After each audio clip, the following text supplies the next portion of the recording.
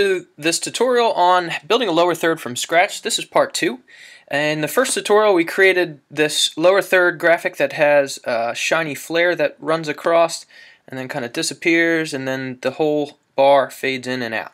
So what we're going to do is take what we've made and change up a couple little things. And first we're just deleting this rectangle gradient. So that we have just the line and the flare. And uh, next we're going to learn about particles. So the idea here is you can use a particle generator, or I'm sorry, a particle emitter, and we have um, the ability to make an object and make copies of the object that move in the direction that you specify at different speeds and you can make them fade in and out over time and scale in and out over time. So um, why don't we just get started with one and draw a circle. So this is going to be the initial object that we're going to emit. And uh, we're going to modify it a bit to, to make it look a little bit um, more interesting. So if we change the fill mode to gradient and we're going to make it a, a, totally white to black gradient, um, so selecting the color, we'll just make one end white and one end black and then we're going to take this and change the gradient type to radial. So it'll be kind of circular. And we're going to change our y in and out points start and end. So that it kind of fades out at the edges looks more like a sphere a sphere. So um, now that we have the circle we're going to hover over this and it says create a particle emitter and the key command for this is just hitting the E key. So I'm going to hit E and let's take a look in the emitter. So if you if you look um, this bottom layer is no longer active. It, it's hidden. So um, this is the initial object that we've made. And then in the emitter, if we go into the emitter and then look in the emitter properties in the inspector, um, this is the default that a new emitter starts out at. And if you note, when we created the emitter, it put it at that point in time. So I'm going to drag this to the very beginning of the sequence. Note that the uh, the hidden circle did not drag. It doesn't really matter where this is in time. Uh, it's not going to affect how the emitter behaves, but we'll drag that also to the front. And let's make it so that this emitter emits for the duration of this sequence.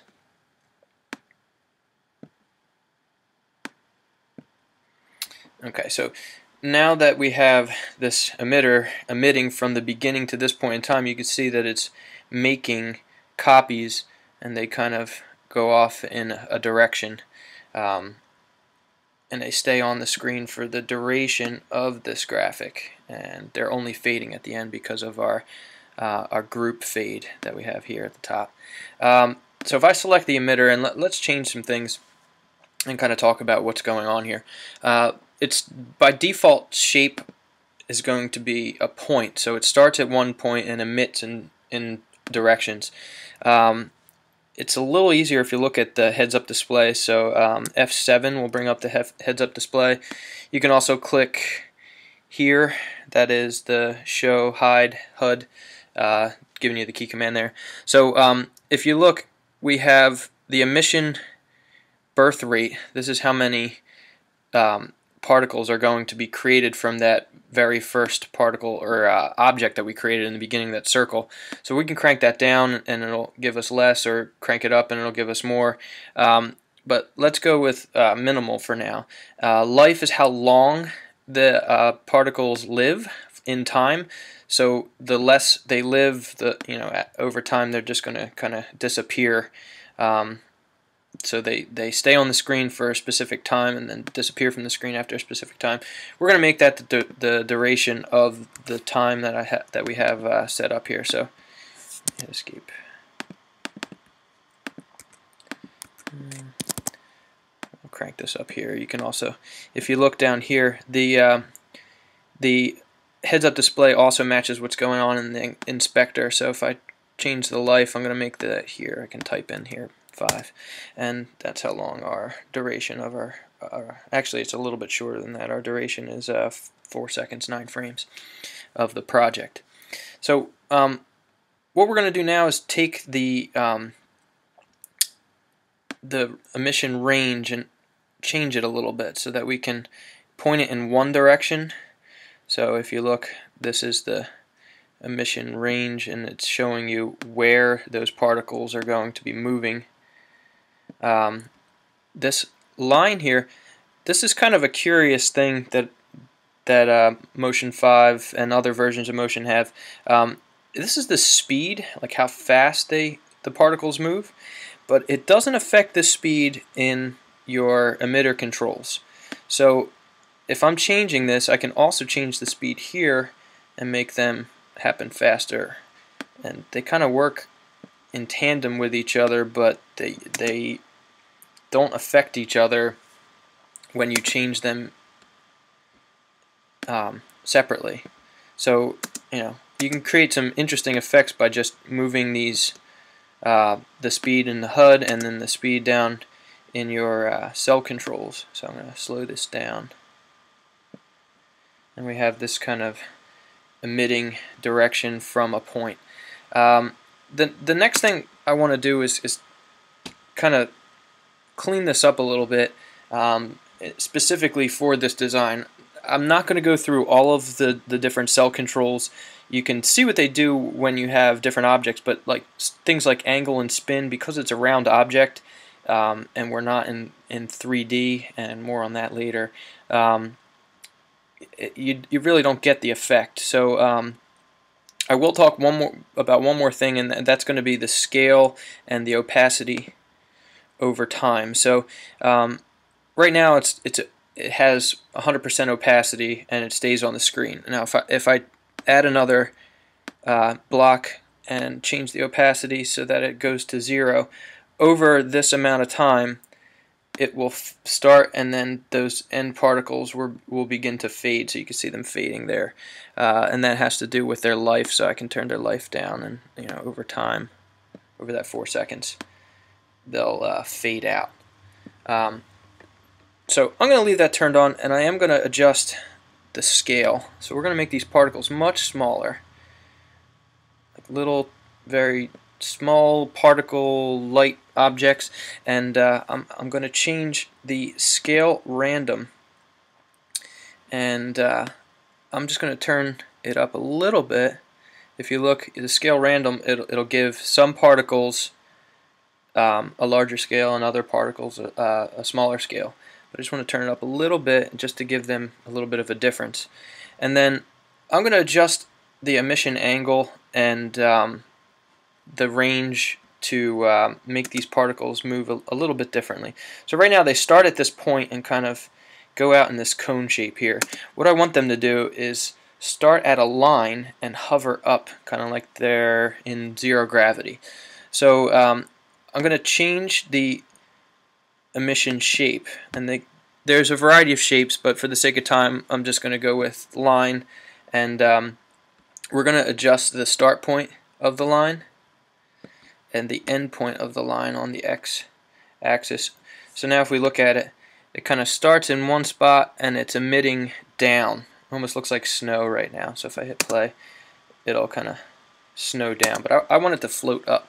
So if I change my angle to 180 degrees, they're going to float up from this point. And uh, they're at a, a, a birth rate of 12. And I'm going to change that. I want the birth rate to be zero.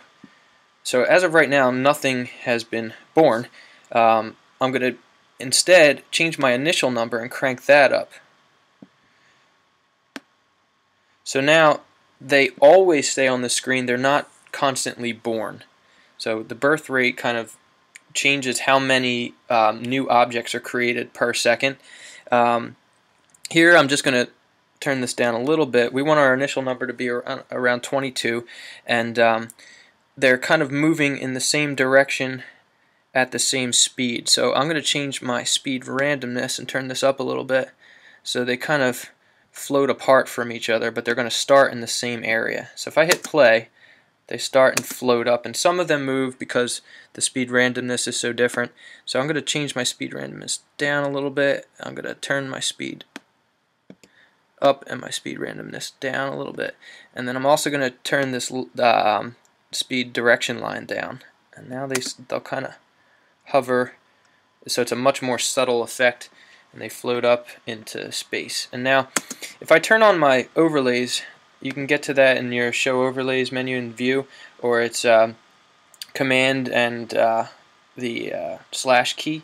So if I hit Command slash, I can see all of my overlays and I'm still title safe here. I'm going to drag this particle system down and kind of put it with everything that's going on. And I'm going to turn it off now and we'll watch through. So I don't like where it starts. I'll go frame in so I can see it and turn it back on. And I could drag this or I could use key command. So if I uh, command um, an arrow keys, that'll move in one pixel direction or another. And I'm also going to change the opacity over life. Uh, at the beginning of their life, I want the opacity to be down a little bit so they're kind of see-through. So that's our effect so far. Uh, I'm going to scale down a little bit random-wise and scale down, let's go to 3%. So make these a little bit smaller, a little bit more subtle, and um, turn them down all the way. That was me scrolling, 3%. So if we look at this, here's our particles kind of floating up from that line area, and they only fade out because of the opacity over life, and then at the end the, the whole graphic fades out because it's all in a group that has a fade behavior applied to it. Um, so that's kind of the gist of particles. Um, one more little thing. I'm going to close this emitter. And uh, if you look here down at the bottom, generate, this random seed here, it will change the way that the particles were emitted. So if I click the random seed to generate, it kind of changes where they originate and how they travel over life. Now, it seems random, but if you keep the random seed the same, these particles will stay in the same spot over their life every time. Um, you know, when you open up the project and, and uh, you know start start again, um, the due to how the random seed is generated, these particles will always travel in the same exact direction. Um, and then one last thing, I'm going to move the emitter back in time and then stretch it out a little bit so that they start a little bit higher up and actually I'm going to change that and move these down a little bit so if I bring back my overlays I'm going to drag that down just to kind of change how the particles behave they're they're already spread apart they don't start so much in a line um, at the beginning like like we had uh, set up here with the shape so that's kind of a little particle uh, tutorial to give you a, a very subtle effect with some particles floating in space uh, behind an already established graphic. And um, I hope you enjoyed this one, and uh, we're going to be coming out with another tutorial on using some masks and, and other objects to uh, achieve motion graphics effects. And that's all for now.